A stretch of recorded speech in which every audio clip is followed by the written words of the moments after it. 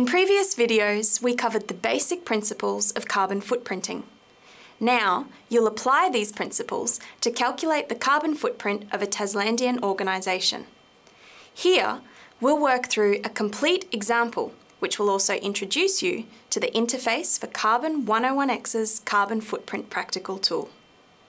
Our example company comes from the snowy alpine region of Tasland, where winter sports are very popular.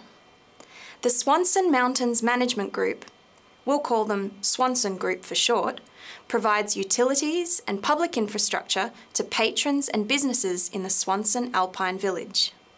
Our first step in the carbon footprint process is to decide the most appropriate reporting timeframe. Depending on the specific organisation, this is commonly either a calendar year or a financial year. However, it can be something completely different. For example, Swanson Group, like many other alpine resort businesses, conducts all annual reviews based on their operating year which runs from the beginning of the ski season on the 1st of December and ends on the 30th of November. So, from the following list of options, which reporting period should Swanson Group choose? Well, to align with the organisation's financial reporting and operating year, the answer should be the third option, 1st of December 2015 to the 30th of November 2016. In the Carbon 101X Carbon Footprint Practical, you'll be given feedback on your responses. You'll have three attempts for each question. After your final attempt, click the Show Feedback button to see an explanation of the correct answer. The next step is to define the organisational boundary. This requires making decisions about which facilities and assets, such as buildings and vehicles, to include in Swanson Group's carbon footprint. In order to do this, it's essential to understand the organisation's business activities and assets. Swanson Group provides the following services in the Alpine Village. Utilities, including water and sewerage treatment, and public infrastructure, including car parks, trail maintenance and snow clearing. To support the delivery of these services, the company owns and operates a fleet of cars, snowplows and snowmobiles, a wastewater treatment plant, and an office building in the Alpine Village. Swanson Group also leases a block of self-contained units for permanent staff accommodation, which are owned and maintained by Azure Property. Now, which assets should we include in Swanson Group's carbon footprint? There are different approaches for deciding this, but for most companies, the criterion of operational control is recommended. This means that Swanson Group should include all assets where it has the authority to make changes to processes and equipment that result in an increase or decrease in emissions. In the Carbon 101X Practical, you will use the drag and drop tool to categorise the different facilities and assets as either within the organisational boundary or not applicable. Most of Swanson Group's assets are straightforward. If they are owned and operated by the company, it's safe to assume that Swanson Group has operational control over them. However, the permanent staff accommodation requires more careful consideration. We know that the Swanson Group doesn't own the self-contained units. Instead, it leases them from another company. But that's not enough information. We need to determine who has operational control over the asset. Swanson Group, the lessee, or Azure Property, the owner? Well, our example scenario states that Azure Property is also responsible for the maintenance of the units. This means that Swanson Group has very little authority to implement its own operating policies or make changes to this asset. Therefore, we should not include the accommodation units in Swanson Group's carbon footprint. Next, it's time to identify all the emission sources within the organisation's business activities. In the Carbon 101X Practical, you will be presented with a list of potential emission sources for your chosen company, like we can see here for Swanson Group. Your job is to classify them as either Scope 1, Scope 2 or Scope 3. Remember, Scope 1 includes all emissions that occur within the organisational boundary as a direct result of a particular activity.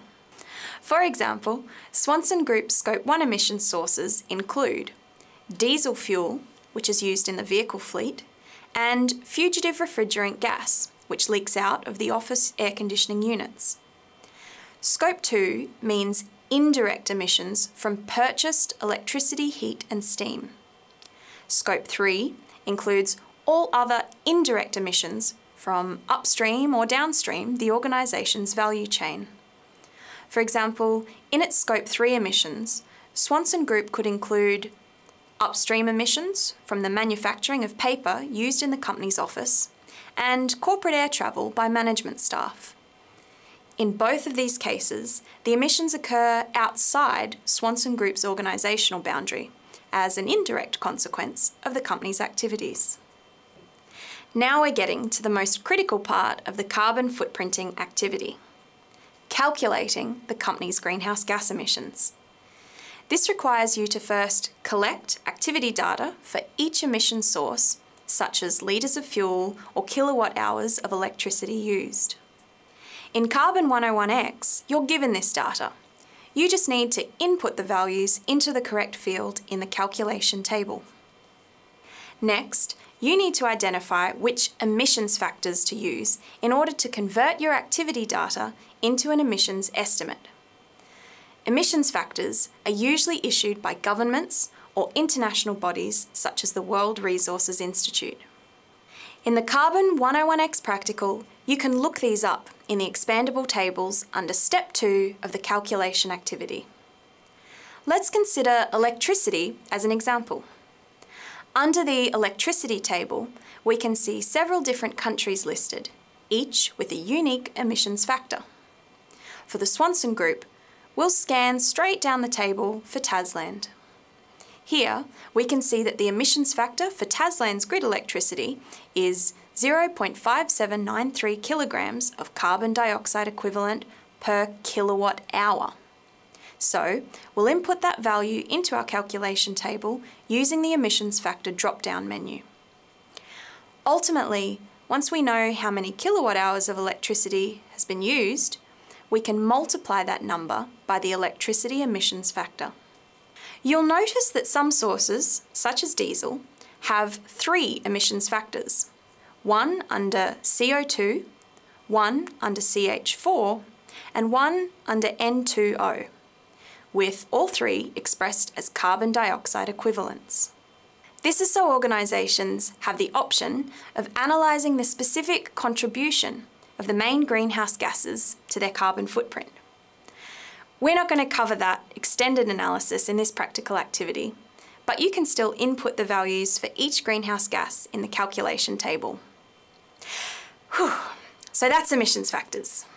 But what about that other column in the table, the energy content factor? Well, sometimes fuel data will be in a different unit to the emissions factors, and need to be converted into a compatible unit before the emissions factors can be applied. For example, we know that Swanson Group used 80,000 litres of diesel throughout the year. But in the table, we can see that the emissions factors for liquid fuels are expressed in kilograms of CO2e per gigajoule. Therefore, in order to be able to apply the emissions factors, we first need to convert this fuel unit from volume, that is litres, to energy, or gigajoules. We can do this using the energy content factor, indicated in the second column of the emissions factor table, which specifies the amount of energy contained within a given volume of fuel. This extra step is commonly required when calculating emissions for liquid fuels and is also sometimes necessary when working with other fuels such as coal and natural gas. And now the final step in calculating the emissions from each source. Multiply the activity data by the emissions factors. There are some small differences in the calculation formulas for different sources, so be sure to select the correct one. Once we click Submit, a complete carbon footprint is calculated for our company. Now that we've finished our example, it's your turn to compile a carbon footprint for another Taslandian company.